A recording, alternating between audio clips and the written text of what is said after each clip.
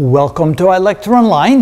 Now let's talk about the four large moons of Jupiter, also known as the Galilean moons, since Galileo was the first one who actually looked at Jupiter with a telescope, about a 20x telescope, and saw four little dots of light in a perfect line along Jupiter. And as he observed it over time, he saw the dots move and he began to realize that there was actually four moons that were circling around Jupiter which was kind of a, hmm, a real big news because for the first time ever, there was an indication that there were objects traveling around another object besides the sun. Hmm. But now that we have satellites and very nice telescopes, we're able to come up and take very nice close-up pictures of the four moons. So we have Io, Europa, Ganymede, and Callisto. And in this video, we're simply going to talk about the basic structure and the basic uh, statistics of the four moons. And we're going to compare them to Earth's moon as well because that always helps.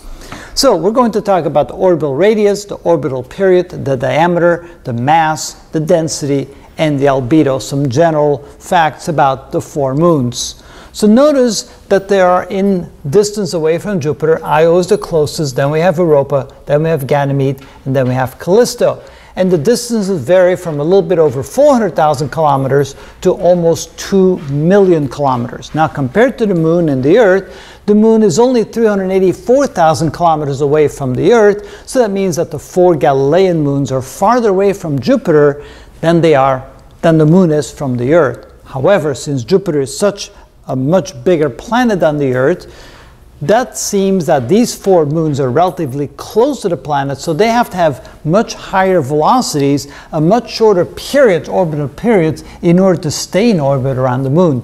Notice that Io will circle Jupiter in less than two Earth days. That's absolutely phenomenal. As big as that planet is, Io, being farther away than our moon from the Earth, needs less than two days to travel around the planet. Now, of course, if it was traveling any slower than that, it would simply spiral inward and collide with Jupiter. So it needs that speed in order to stay away from the gravitational clutches of Jupiter, so to speak.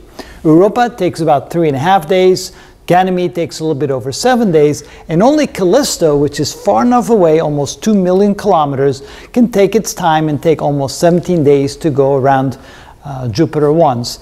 Because that those variations in speed, as you observe the planet Jupiter with a small telescope and you see the four moons, sometimes one of the moons will be behind Jupiter, you only see three dots. Sometimes you'll see three dots on one side and one dot on the other side, or you see all four moons on one side and none on the other side. It's kind of interesting to keep track of that because the variation in the speed of the moons, you'll have all those various situations popping up.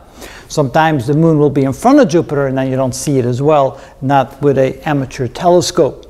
Compared to the moon, it needs 27.3 days to make one trip around the Earth because the Earth is not nearly as big. And if it went any faster than that, it would just simply spiral out into space. Any slower than that, again, it would collide with the Earth. How about size-wise? Well, it turns out that four of the three, uh, three of the four moons of Jupiter are actually larger than our own moon. Notice only Europa is a little bit smaller than our moon. All the other moons, Io, Ganymede, and Callisto, are considerably larger, especially Ganymede and Callisto. And Ganymede is so large that it's actually larger than the planet Mercury. As far as the mass is concerned, notice that it's anywhere from 8.93 times 10 to the 22nd or 4.79 times 10 to the 22nd all the way up to 1.48 times 20 to 10 to the 23rd. That's in kilograms, but that may not mean a lot unless you look at these numbers a lot. So it's better to compare it to the size of the moon. And if you call the size of the moon equal to 1, then notice that uh, mass-wise, Io is about 22% heavier or more massive, I should say, than the moon. Notice Europa is considerably less massive than the moon. Ganymede is twice, has twice the mass, and uh, Callisto has about 50% more mass than the moon. Density-wise, we see a very interesting trend. Just as the planets become less dense as you go farther away from the sun, well, it turns out that the density of the moons also diminish as you go further out from Jupiter. Now you may say, well, wait a minute, Earth is the most dense planet, which is true. However, eh, that is compressed density. Since Earth is the largest terrestrial planet, it is compressed more due to gravitational forces, and so it gives you a higher density due to the compression of the force of gravity. If you take the non-compressed densities, Mercury is by far the densest planet in our solar system because it has a greater proportion of iron to rock. So we see a similar kind of trend here for the moons. Three and a half times the density of water down to 1.85 times the density of water compared to the moon. Notice that, it, that the first two moons, Io and Europa, are relatively uh, dissimilar to the density of the moon. So they have a much higher proportional rock to other materials. The indication then would be that we have moons here, these two moons probably contain a lot more ice water, and these two moons here probably uh, comparatively contain more rock and other minerals that make it heavier than what you would expect if it was made purely out of rock. Another interesting concept of the moons here is the albedo. The albedo is an indication of how much of the sunlight that they receive is actually reflected. And the higher the albedo, the more light they reflect, the brighter they appear in a picture.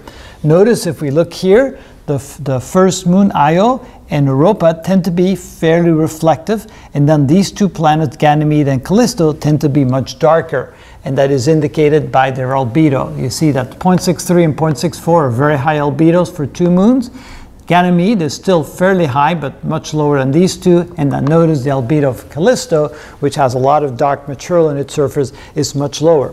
What was surprising was when you compare it to the moon, the moon even has less of a of an albedo than the four moons of Jupiter. That's because the moon is covered by a material called regolith, and regolith does not reflect light very well. It scatters light, but it doesn't reflect light very well, and so therefore it has a very low albedo. Although the moon, the full moon at night, still looks very bright, but can you imagine if the moon had the albedo of Io, on a full moon, it would be absolutely phenomenal. We'd get about five times as much light from the moon as we do now. Five, maybe even six times as much light.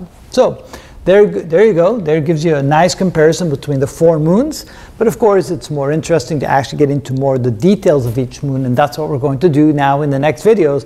We're going to cover each moon separately in each of the four, four coming videos to show you a little bit more about the, what the moons are all about. It's, they're absolutely spectacular. Each moon in their own right has some very unique features that we want to go and explore. So stay tuned and we'll see what each of the moons looks like those four big moons around Jupiter. The moon that has supposed to be water. The moon that is a lot of water on the surface is Europa. It's the smallest of the four moons, and it's presumed that that is completely covered by ice. And underneath all that ice, we presume that most, if not all, the surface is covered by a liquid ocean of some sort of briny water. So we'll see. We'll, we'll go and explore that. Should be closer to one then?